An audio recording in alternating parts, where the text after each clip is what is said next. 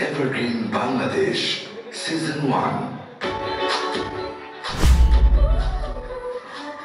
এখানে আসার পর এখানে সবার কাছ থেকে অনেক কিছু শিখেছি। এখন খুবই ভালো লাগছে যে ক্রাউনটা মাথায় আমার কারণ সবাই সবাই যখন এসেছে সবাই এই ধারণা নিয়ে এসেছে যে আমি আমার বেস্ট দেওয়ার চেষ্টা করব এবং আমি সর্বোচ্চ স্থানে যাওয়ার চেষ্টা করব। আমিও সেটা চেয়েছি। আমি র্যাপ মডেল অভিনেত্রী হিসেবে কাজ করতে চাই। আমি র্যাপ মডেল এবং অভিনেত্রী হিসেবে কাজ করতে চাই। সবাই আমার জন্য দোয়া করবেন। সেক্ষেত্রে আপনি, আমরা যেটা দেখেছিলাম সেমিফাইনালে আপনি ছিলেন দশ জনেরও পরে ছিলেন। এই যে সেখান থেকে এসে ক্রাউন বিজয়, এই কনফিডেন্টটা এবং হচ্ছে আপনার সার্বিক প্রাপ্তি নিয়ে আরও একটু আমরা শুনতে চাই। আমি বলব এখানে সবার দোয়া আমার আম্মু আব্বু বড় বোন ছোট বাবা আমার ফ্যামিলির দোয়া বুলবুল টুম্পা মায়ের দোয়া সাজু স্যার সবাই আমার শুধু আমার জন্য না সবার জন্যই দোয়া করেছেন আমার জন্য করেছেন। এখন আমি বিশ্বাস রাখি যে দোয়াটা এমন একটা জিনিস যেটা লাগবে। এখানে সবাই আমার জন্য দোয়া করেছে আর খুব ভালো লাগে। আচ্ছা মমতাজ আমি জানতে চাইতে চাই যে আপনার ট্যালেন্ট নিয়ে না একটা কথা বলি না দোয়াও লাগে দাওয়াও লাগে সেরকম। বলি আর কি ইন্ট্রোডিউস ইয়োরসেলফ যদি আপনার সম্পর্কে একটু বলেন সবকিছু মিলে আপনি কোথা থেকে বেড়ে উঠেছেন কি যদি বলেন আপনি মানে ইতিহাসের গল্পটা। আমি হ্যাপি আক্তার মমতাজ আমি ছোটবেলা থেকে নাচ শিখি। আমার নাচের প্রতি খুবই যোগ ছিল। আমার আম্মু আমাকে নাচ শেখায়। আমার ছোটবেলা থেকে অভিনেত্রী হওয়ার খুব ইচ্ছে ছিল। আমি চাই যে অভিনেত্রী হতে। ছোট যখন ছিলাম তখন ছবির নায়িকা হিসেবে কাজ করতে চেয়েছিলাম। এখন নাটকের নায়িকা হিসেবে কাজ করতে চাই।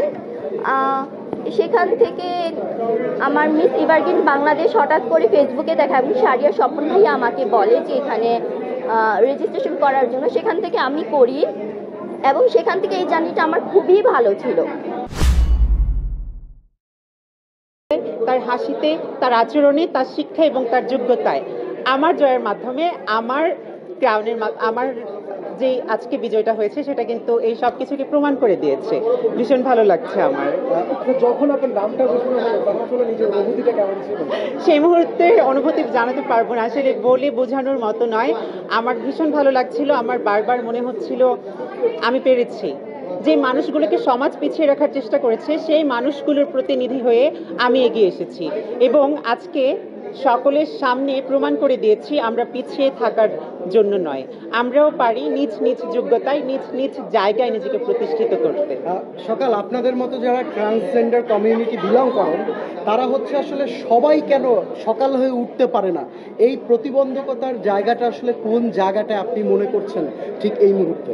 এই মুহূর্তে আমার যেটা মনে হয় শুধুমাত্র এই মুহূর্তে নয় অনেক আগে থেকে এই বিষয়টি আমি পর্যালোচনা করেছি যে আমরা অনেক বিষয় জানি না আমরা জানি না বলেই মানুষকে মানুষ হিসেবে আসলে মেনে নিতে পারি না। আমরা যখন একটুখানি বৈচিত্র্যতা দেখি, তখনই আমাদের মধ্যে অন্যরকম কিছু তৈরি হয়ে যায়। আমরা মনে করি সে আলাদা। আর আলাদা বলে তাকে আলাদা করে রাখতে চাই। আমরা ট্রান্স উইমেনদেরকে ট্রান্সজেন্ডার পিপলদেরকে খাবার টেবিলে রাখতে চাই না। স্কুলের পেছনের বেঞ্চিতে বসাই। বন্ধুদের সাথে তারা খেলতে যেতে পারে না। এই যে এই ধারণাগুলো এই ধারণাগুলো কিন্তু একদিনে পরিবর্তন হবে না। আর এই ধারণাগুলো তাদের আছে বলেই তাদের মধ্যে সেই জ্ঞানটি কিংবা তারা জানে না বলেই মূলত পিছিয়ে রাখে। আমি কারও দোষ দিব না। আমি এখানে দোষ দিব আমাদের শিক্ষা ব্যবস্থার এবং আমাদের সমাজ ব্যবস্থার। সমাজ আমাদেরকে মূলত পিছিয়ে দেওয়ার চেষ্টা করে তবে আমরা পিছিয়ে থাকব না। আপনি আমি জানি আপনি সিনেমাতে কাজ করেন সবিজের সাথে আছেন কিন্তু এর বাইরে কোনো সেক্টরে আপনার কাজ করার স্বপ্ন আছে কিনা বা স্বপ্ন দেখছেন কিনা? সিনেমাতে কাজ করছি অলরেডি এবং মিউজিক ভিডিওতে কাজ করছি। আমি এখানে আরও একটি হচ্ছে সুন্দর ঘোষণা দিতে চাই। আমাদের লিজেন্ডারি সিঙ্গার মেহরিন ম্যামের নতুন একটি গান আসছে রূপকথা। যেটি তিনি আমাকে নিয়ে চিন্তা করে তৈরি করছেন এবং সেটিতে আমি একজন অ্যাক্ট্রেস হিসেবে কাজ করছি।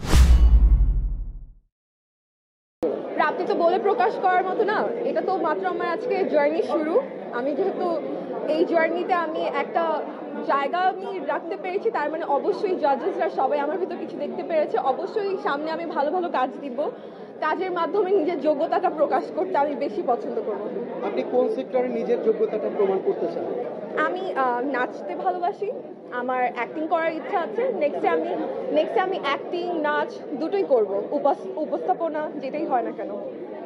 সেক্ষেত্রে অভিনয় জগতে আসলে তো মানুষের একটা স্বপ্নের চাওয়া থাকে। আপনি কার সাথে কাজ করতে চান বা কার সাথে কাজ করার স্বপ্ন দেখছেন? আমার আরিফিন শুভ ভাইয়া আফরান নিশো ভাইয়া সাকিব খান ভাইয়া জায়দ খান ভাইয়া সবার সাথে কাজ করার ইচ্ছা আছে। যারা আমাদের সুপারস্টার অনগোয়িং আছে সবার সাথে আমার কাজ করার ইচ্ছা আছে কারণ তারা সবাই অনেক ট্যালেন্টেড আপনার এই জার্নিতে এমন কোনো ডিপ সিক্রেট আছে কোনো কষ্ট আছে যেটা হচ্ছে আজকে এই প্রাপ্তির পরে মিডিয়ার সামনে বললে পরে আপনার একটু হালকা লাগবে বা ভালো লাগবে? আমার এই প্রাপ্তি, আজকে প্রাপ্তির মধ্যে আমার সবচেয়ে কষ্টের যে জিনিসটা ছিল, আমি শুধু এখানে প্রেজেন্টে আসিনি, আমি পাশাপাশি জব করি, পড়ালেখাও করছি। তো আমার এই সব কিছুর মধ্যে সময় ম্যানেজ করা, দুটো জিনিসের মধ্যে টাইম দেওয়া এবং নিজের বেস্টটা দেওয়ার ওই জিনিসটা ওই কষ্টটা আমার জন্য আজকে মানে একটু মানে আমার মনটা ভারী হয়ে যাচ্ছে ওটা চিন্তা করে যে না আজকে আমার এই সকল কষ্টের এতদিনের কষ্টের ফল আমি পেয়েছি। আপনি অভিনয় করলে একজন অভিনেত্রী হবেন সে অভিনেত্রী হিসেবে আপনি কোন জায়গাটা অথবা কাকে টাচ করতে চান বাংলাদেশের জায়গা থেকে? যদি বলতে চান তাহলে অবশ্যই নুসরাত ফারিয়া আপু মেহজাবিন আপু। Okay thank you thank you